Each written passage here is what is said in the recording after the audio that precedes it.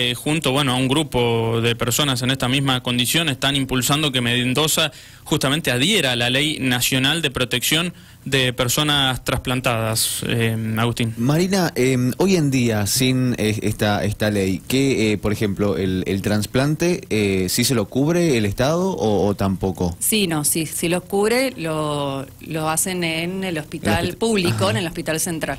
Bien, cualquiera se tiene que dirigir al hospital claro, si no tenés obra social, tenés la del Estado, que es profe, eh, que también tiene bastantes líos esa obra social, eh, pero así se realiza en el hospital central. Bien, ¿y qué, hay, algo más que, que, te, que te cubra sin tener, obviamente... No, y las medicaciones, todo debe ser, sí. En, ese sentido, eh, en esa parte, bueno, funciona, el resto no. Hoy en día, digamos. Hoy en día, sí. Bien. Bien. Bueno, eh, Marina, y a ver, eh, decís que la secretaria del senador Abraham les recibió eh, esta carpeta con el proyecto que ustedes solicitan de que se reactive un poco la cuestión para ver si sale finalmente esta mm, adhesión. ¿Qué, les han, ¿Qué les han contestado? ¿Les, han dicho? ¿Hace cuánto fue esto, antes que nada?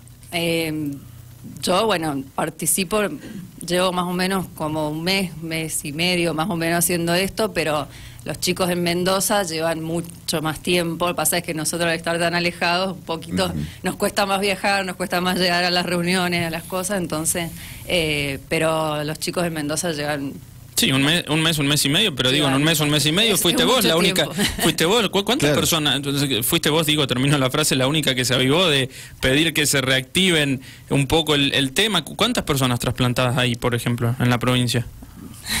Muchas. ¿Cuántas hay? No te sabría decir, los registros los tiene el CAIMEN, que es el organismo de Mendoza, pero sí somos muchísimos, muchísimos. Sí. En el sur solamente, San Rafael, Alvear y Malargüe ya son. Sí, un montón, un montón, sí. Entonces, a ver, soy como un poco la cara visible de ellos, pero, pero sí, siempre están conmigo y están ahí peleando con, junto conmigo. Bien.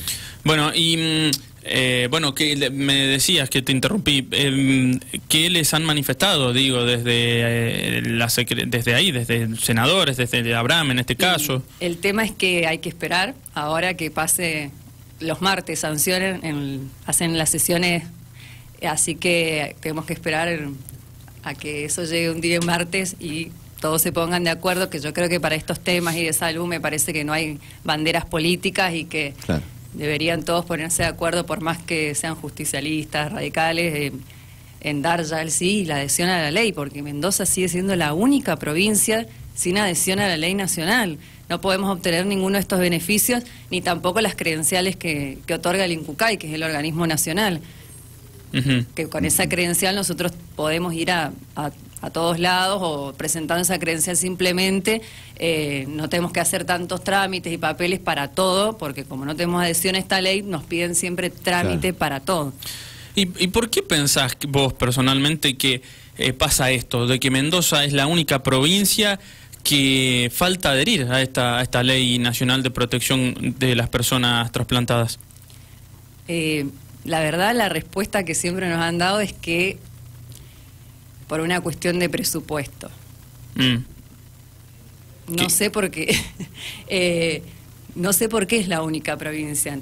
Mm. No, no sabemos realmente, no, no, no nos contestan, no nos dan una respuesta, digamos, muy lógica. ¿Pero qué, qué, les dicen? ¿Que el, que el costo es altísimo para, para eh, subsidiar a, esta, Pero este bueno, como es una cuestión nacional, lo subsidia el Estado Nacional, así que no sé, no sé por qué no la provincia no está adherida.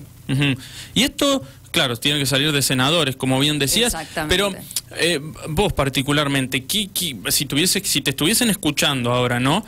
Eh, ¿qué, les dirías a, los senadores? Eh, porque como decís, esto en definitiva es una decisión de, todos los partidos políticos, del justicialismo, del radicalismo, de los demócratas, de todos.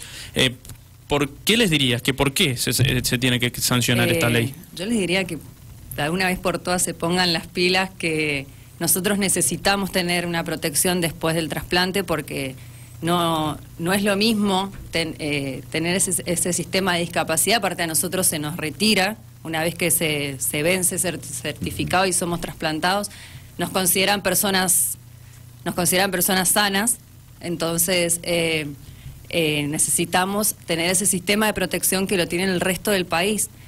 Así que a ellos les pido, y sobre todo a los del sur, ya que yo soy del sur de la provincia, eh, que se pongan las pilas y que trabajen y que, y que saquen este proyecto y adhieran a la ley nacional. ¿Cuál es el plazo ese que, mencionabas? ¿Cuál es el plazo que eh, desde que desde que se realiza el trasplante eh, te tenés eh, después hasta hasta que los consideran como una persona normal, digamos, sin cuando se te vence tu certificado de discapacidad que dura unos dos años, dos años y medio. Más ah, bien. Ahí. Pero hay, eh, o sea, eh, ustedes necesitan eh, un, tratamiento de, por vida, por más que... De por vida, nosotros estamos inmunosuprimidos de por vida. De por vida, de por vida. el tratamiento es de por vida. Pero, y, y después de los dos años, dos años y medio, ¿te renuevan ese, ese certificado? No, tenemos que pasar a este sistema de protección. Todas las personas trasplantadas pasan al sistema de protección eh, que es la ley nacional, y nosotros no pasamos a nada. A nada. Pero se quedan en banda. Por eso, o sea que dentro de dos años, dos años y medio, desde el momento que sos trasplantado, si no te, mm, si Mendoza, en este caso, no adhiere a esta ley, todos los medicamentos, todas las cuestiones que me imagino que deben ser caros aparte. Carísimos. Eh, ¿El 100% los tendrían que abonar ustedes? No, no, no. no. Ah. En ese sentido el Estado se hace cargo, pero no en el resto de las cosas que adhiere a la ley. Bien. Por ejemplo, eh, muchos han perdido su trabajo y, han querido volver a trabajar en dependencia y no. Mm. No porque, bueno, estás trasplantado, entonces la ley contempla de que no pueden sacarte claro, También contempla, por ejemplo, el familiar que te acompaña al eh, todo este sistema del trasplante y toda esta cuestión, eh, por ahí tiene que faltar a su trabajo y contempla de que de que no sea despedido y, por ahí no les dan los días tampoco a los familiares para que te acompañen. claro, es un proceso de recuperación y ahí ya entras en el terreno del porcentaje de la ley, porque me imagino que los deben tomar como discapacitados después de dos años y medio, ¿o no? No, no entras. No, no, no, después no. Ah, Durante dos años y medio sí, pero ya después. Claro, después, no, después se retira el certificado de discapacidad y tenemos que pasar a este sistema. Bueno, que el INCUCAI te otorga la credencial de trasplante, bueno, nosotros no, no la tenemos en Mendoza. Bien. El resto de las provincias lo tienen. Correcto, bueno. Em, ¿Tienen pensado ahora en el corto plazo o más adelante, si no, alguna medida? Eh, se, se, movilizan permanentemente? ¿Cómo, son, ¿Cómo es la tarea en el día a día que, hacen eh, ustedes? ¿Se reúnen? ¿Este grupo se reúne en la eh, semana? sí, en Mendoza. la mayoría de los chicos son de allá de la capital, así que...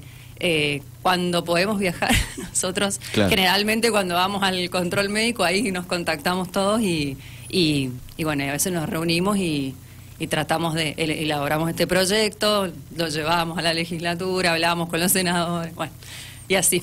Y tratamos de que salga de alguna vez, de una vez por todas. Bien. Bueno, Marina, em, te agradecemos por venir. Un mensaje final, no sé si, si querés dejar eh, o algo eh, para agregar. Como digo siempre, eh, que donar órganos es dar vida y que es el mayor acto de amor, así que que por favor se registren como donantes y que bueno, eso, con lo que digo siempre, que donar órganos es dar vida y bueno, muchas gracias a ustedes por el espacio. Bueno, gracias Marina, suerte con, con todo lo que, mm, lo que emprendan de ahora en más. Muchas gracias. Bueno, ahí